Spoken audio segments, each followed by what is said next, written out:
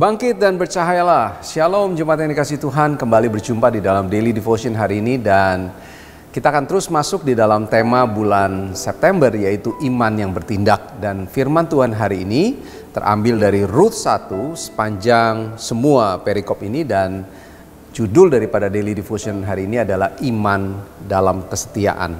Dan kita tahu ceritanya bagaimana cerita tentang Naomi dan Ruth ya, cerita yang sangat luar biasa. Suatu saat terjadi uh, kelaparan di bangsa Israel di Yerusalem pada saat itu di Bethlehem dan pada saat itu mereka pergi ke tanah Moab. Dan saudara perlu ketahui bahwa di Moab, Moab ini adalah keturunan sebenarnya dari Lot pada saat itu dan kita tahu bahwa Moab dan bangsa Amon salah satunya adalah mereka adalah musuh dari bangsa Israel. Dan pada saat itu ketika kelaparan sangat hebat terjadi di Israel pada saat itu Naomi bersama dengan Elimelek pada saat itu mereka pergi untuk ke tanah Moab untuk mereka bisa hidup melanjutkan hidup pada saat itu dan pada saat itu kedua anak mereka kita tahu ceritanya menikah yang besar yaitu Mahlon menikah dengan Ruth dan anaknya yang kedua Kilion menikah dengan Orpa.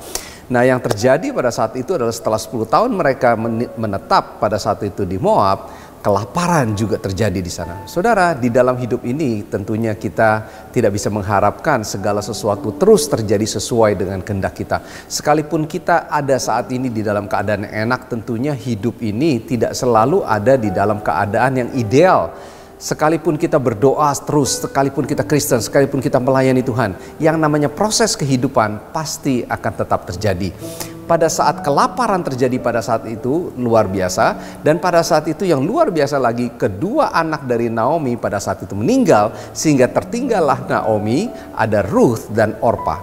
Kita tahu ceritanya bagaimana pada saat itu Naomi memutuskan akan pulang ke Bethlehem pada saat itu karena sudah tidak ada harapan lagi untuk tinggal di Moab dan kita tahu ceritanya Naomi bilang sama kedua menantunya, pulanglah kalian karena aku tidak mempunyai lagi anak. Aku udah nggak punya lagi jawaban, aku nggak punya lagi pertolongan. Kamu harus melanjutkan hidupmu pada saat itu. Dan pada saat itu Orpa memutuskan untuk pergi, tetapi perhatikan apa yang dikatakan Naomi, sekali-kali pun aku tidak akan meninggalkan engkau. Ke mana pun engkau berada, aku ada di situ dan siapa pun Allahmu akan menjadi Allahku dan inilah bukti kesetiaan aku akan tetap mengikuti engkau.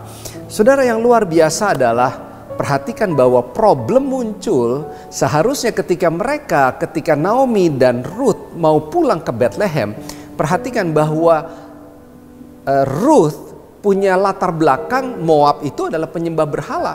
Mereka nggak tahu masa depan mereka ketika bahkan Ruth atau uh, Ruth tidak tahu masa depannya ketika apa yang akan terjadi ketika di tanah Bethlehem. Masa depannya nggak jelas. Dia bisa saja dipikir bahwa ini adalah orang asing penyembah berhala, menyembah berhala.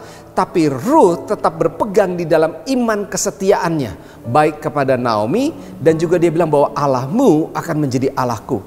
Dan itulah yang dihargai Tuhan. Saat ini mungkin saudara sedang menghadapi masalah. Saat ini mungkin saudara sedang menghadapi problem. Saya mau motivasi saudara hari ini, tetaplah percaya kepada Tuhan tetaplah setia kepada Tuhan. Jangan beranjak di dalam komitmenmu untuk mengikut Tuhan secara sepenuh hati. Dan kita tahu bersama bahwa Tuhan menghargai komitmen dan harga yang dibayar oleh Ruth.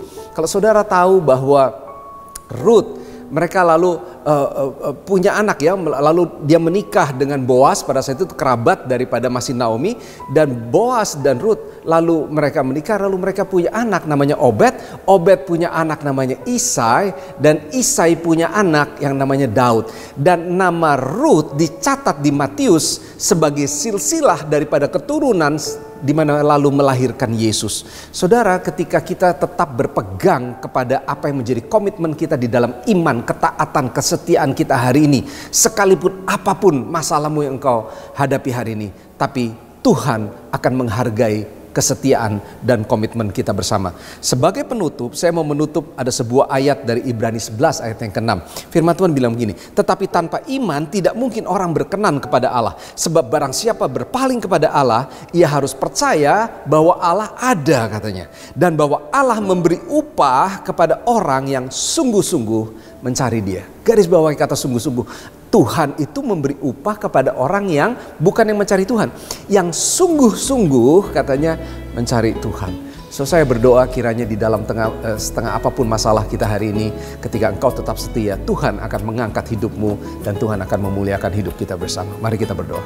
Kami bersyukur buat firman-Mu hari ini Tuhan sudah memberkati kami dengan luar biasa. Kami belajar tentang prinsip kesetiaan iman daripada Ruth. Bagaimana dia tetap berpegang kepada kesetiaannya. Bahkan dia tetap menyembah kepada Tuhan daripada Naomi. Yaitu menjadi Tuhannya yang disembah. Dan hari ini di tengah masalah, di tengah perjuangan hari ini, kesulitan hidup. Kami mau mengambil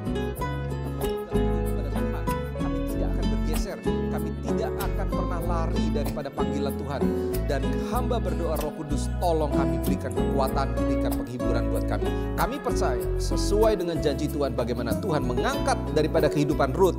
Bahkan kelahiran Kristus pun ada di dalam lahir, di dalam kesetiaan yang dilakukan oleh Ruth. Hal yang sama Tuhan akan mengangkat hidup kami dan Tuhan akan menolong hidup kami sehingga namamu ditinggikan melalui hidup kami semua. Terpujilah nama Tuhan dalam nama Yesus. Amin. Tuhan berkati kita semua. God bless.